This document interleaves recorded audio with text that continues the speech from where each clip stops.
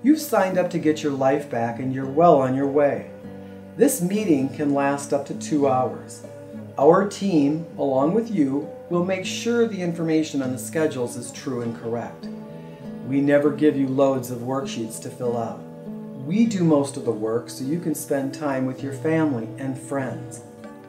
We file your case with the bankruptcy court electronically. We handle all of your creditors for you and protect you from any creditor harassment. We take the trust you place in us seriously. We also take your phone calls and answer questions from the bankruptcy court.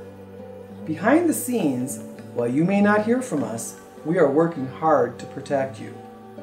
We invite you to call us, email us, text us anytime with any questions or concerns you have. You don't do this every day. We want and expect you will call us with questions.